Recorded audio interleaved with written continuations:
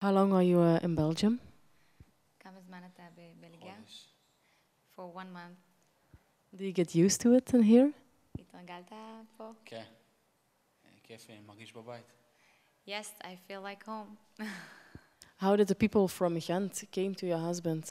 Um, scout come to see him play in Israel, and it was um, it was the best uh, player in Israel with 20, 28 goals. He was the best strike, striker, and uh, I think they saw what uh, Shlomi have done there.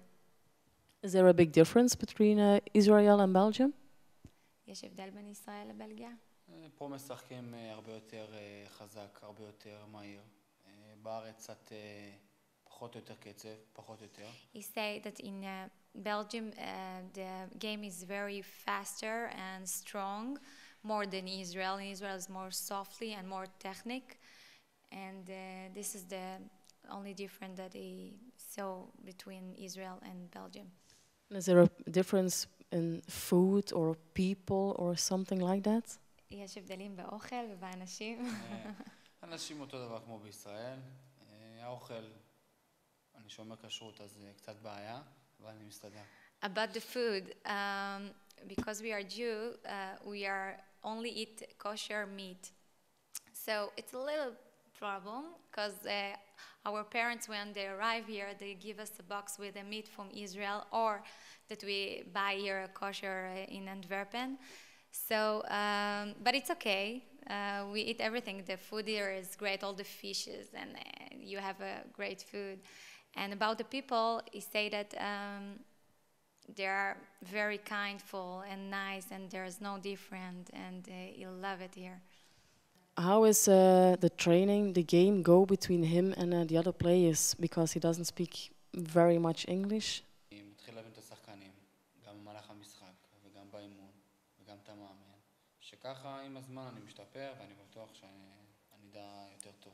You see, this question he understand. This is why I didn't have to translate it. Uh, so he understand English, but uh, uh, it's a little bit hard for him to to to talk. And uh, but he said that he understand everything. The coach, the player, and uh, they talk with him slowly so he can understand. And every night before he go to sleep, he open a little Uh, uh, book and uh, he have a tape and he wanted to learn every day. Uh, it, this is the first thing he do before he go to sleep. Uh, after that, he kiss me. but uh, he always, always want to learn and and uh, he do that slowly. How do you think your career will go here in Ghent? אה, אני רוצה לעשות אה, מה שעשיתי בישראל, ואפילו יותר. אני יודע שזה מקום חדש, אבל אני מאמין בעצמי, אני בקבוצה, ואני מקווה שאני אראה בדיוק מה שהראיתי בארץ.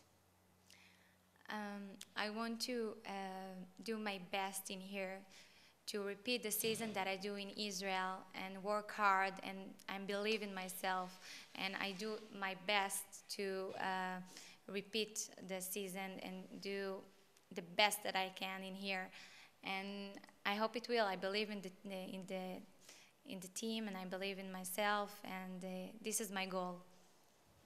And how is your relationship here with the, the Belgian fans?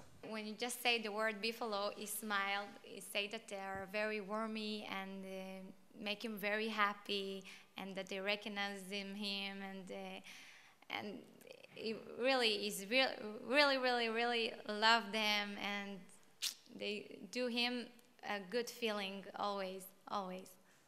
How do you say good luck in your language? That's what I wish you.